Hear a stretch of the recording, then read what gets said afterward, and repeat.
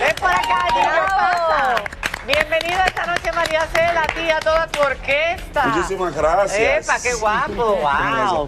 Buenas Como noches. siempre, elegante.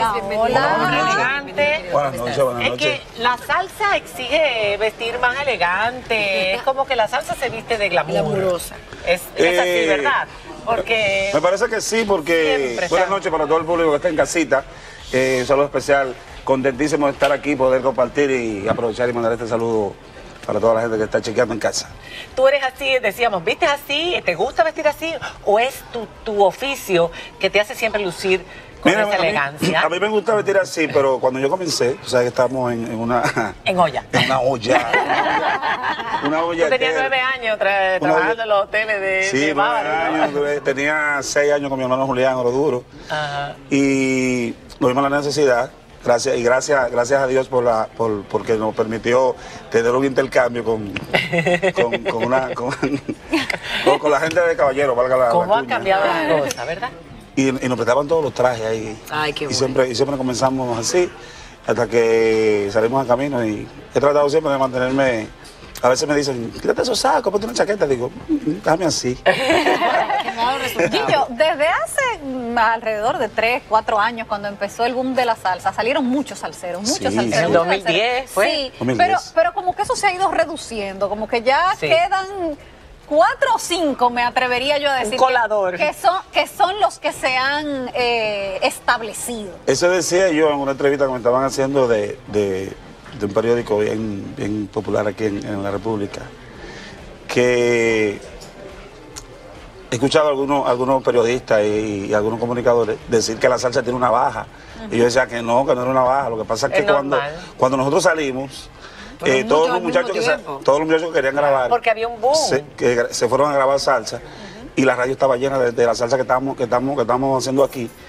Y Estaban tú y Alex, yo recuerdo. cuando yo comencé ya Ale estaba, Ale tenía, Alex empezó tenía casi un año, casi un Alex año. con tuvo un boom tremendo, luego seguiste tú, luego vino Chico eh. No, antes de Ale estaba, estaba eh, Cesapil, Michelle, Cesapil. Que fueron, Cesapil, que fueron esos los, fueron los fueron primeros los pioneros. Fueron, fueron- Sí, estamos hablando hay- de esta nueva camada. Hay que reconocer que ellos fueron los que nos pusieron en salsa a nosotros, pero, pero ya cuando Ale sale, ya estaba Davidito, hace, unos- hace Sí, unos cuantos años que estaba Davidito. Eh, sale Ale, salí yo. De, de, de, de mi orquesta salió Chiquito Timbal, la Chiquito Timbal salió, salieron Sí. casi todos los muchachos de, de mi grupo. Eh, Y luego de Revolución Chiquito sale Revolución, de, de Revolución, Salsera. ustedes son muy amigos. Janford, sí, sí, claro, Janford, eh, GV Rey. Bueno, hoy día, ¿quiénes tú dirías que son los que realmente están dominando el mercado? No solamente nacional, sino internacional. Porque antes se decía, la salsa que hacen los dominicanos. O La sea, salsa- salsa dominicana. Porque la salsa eh, boricua, la salsa de los dominicanos, eh, ahora ya no. Ahora se ha internacionalizado y ya es un movimiento de salsa con representantes aquí y allá. ¿Quiénes son los que están realmente eh, acaparando el mercado, tanto aquí como fuera, de nuestros salseros? Mira, mira, eh, eh, están los muchachos de la, de la Chiquito Timbal, para nadie es un secreto que, eh, que, Que estuvieron nominados a Grammy. Eh, no, no había tenido la oportunidad de, de felicitar a los muchachos, así que felicidades por la, por la nominación. Claro. Eh, Revolución Salsera, Davidito está haciendo buen trabajo, Alex Mato se mantiene, se mantiene. Sí, siempre. Y no me puedo quedar yo. Por que la cosa Tú estás ahora, el año que viene, tienes programada una gira, has anunciado por Europa Wow. y los Estados Unidos. Háblanos un poquito de este nuevo proyecto. Yo acabo de llegar de los Estados Unidos hace dos días que llegamos. Y de Ecuador también, ¿no? Eh, eh, hace dos meses que estuvimos en Ecuador, en Guayaquil, en, en el, en el Coliseo de En Guayaquil. el Gran Teatro, exacto. Ahí sí, hay 25 mil personas. Wow. Eh, llegué contentísimo de por allá porque no sabía que, que, que mi música se conocía tanto por allá. Que fue, Fui, eh, fui- fui asustado. Cuando, fue sola la música por cuando allá yo fui, sí, sola, cuando yo fui al, hacer el- la, la prueba de sonido, que yo vi tú, eso tan grande, yo dije, ay, mi madre. Mm. Y cuando entonces cuando llegué en la noche, estaba repleto, repleto de Porque los otros exponentes eran quienes estaban también. ¿Cuáles Estaba eh, Andy Montañez. Andy Montañez. Andy Montañez. Imagínate. Y estaba Willy González. Ah, ok. Y un servidor, Entonces un tú dijiste, bueno, yo soy aquí como el... ah, Y la ah, gente bailó y cantó todas tus canciones. Entonces, repente- entonces me toca, me toca cerrar el concierto. Y digo, pero ¿por qué yo? Qué cierre de concierto aquí. Qué fuerte, después de Wow. tocar a toda esa Me gente. tocó, sí, me tocó cerrar el concierto, pero contentísimo. Pero entonces por esa zona la- la- la- lo que estamos haciendo está gustando tanto que el primero y el 2 de febrero vamos a Perú, Epa. regresamos el, el 3 aquí a, a- a- a Santo Domingo, Ajá. duramos un día aquí y el día siguiente salimos para Europa. Bien.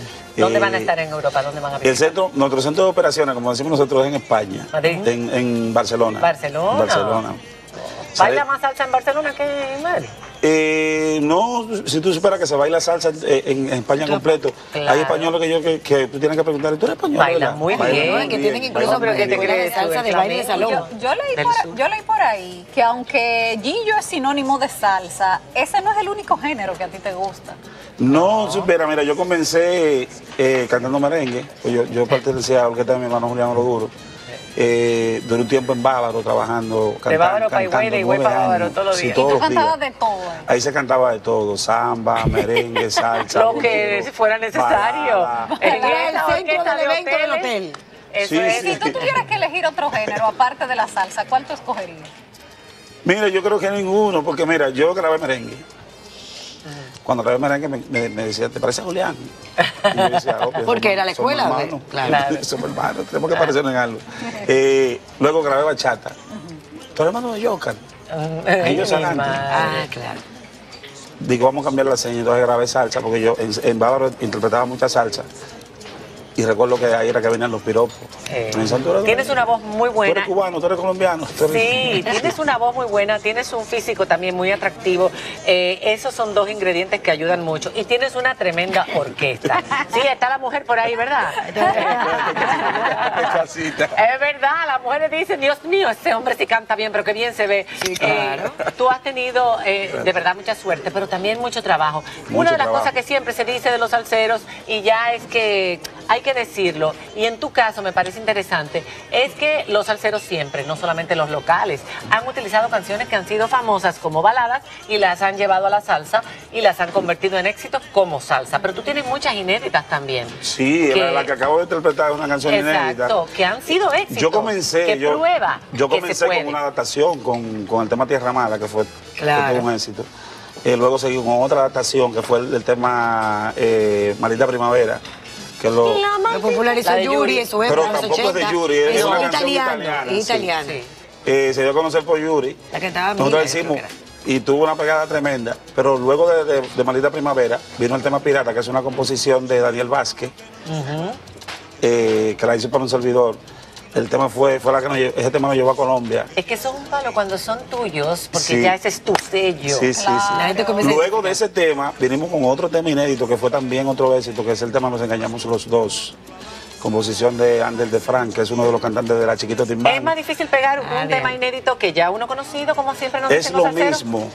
Ah, es lo mismo. Es lo mismo. Es lo mismo. Yo es el digo, mismo. yo digo, sí, yo digo que, que, que la adaptación te da doble reto. Porque tú o la igualas al original o, O la, la mejoras. superas, o la superas. Si la haces peor, Se te va a no ningún paralelo. O sea, tú, tra- tú, tra- tú tratar de que el público deje de escuchar la original Sí. para escuchar la tuya, eso es un reto, un reto bien Es un grande. reto. Este- Se ve fácil, pero no lo es. Este sábado tienes tu espectáculo. Sí. Arroz. ¿Qué, qué va a esperar el público que te va a ir a ver? ¿Qué va a Mira, ahí estaremos. Yo estaba, estaba, estaba ya ansioso para hacer algo así porque a mí me gusta mucho.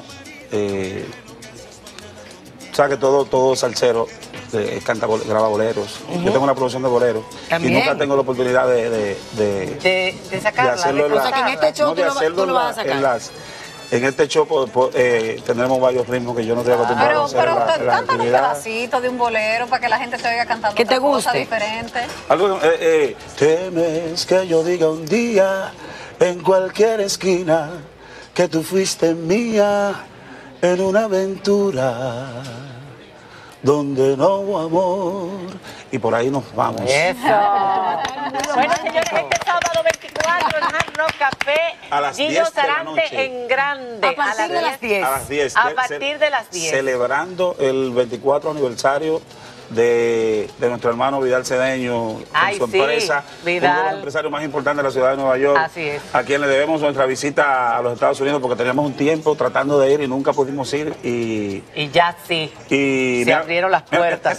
Con Se abrieron las puertas. Enhorabuena, Ay, con enhorabuena, Miguel, Vidal. con Miguel. Con Miguel, con Miguel Céspedes. Vamos entonces a hacer una pausa porque te vamos a escuchar al final. Tenemos un bar ahora con los actores que han llegado. Ahí está Miguel Céspedes, uno de los actores, Fran Peroso, Clarisa Molina, en fin, un grupo de actores de la película Que León que está próxima a estrenarse, no solamente aquí, sino internacionalmente en Puerto Rico, en las islas, en Estados Unidos. En fin, vamos a hablar de las anécdotas, a compartirlas en el bar. Cuando regresemos después de la pausa, ya volvemos.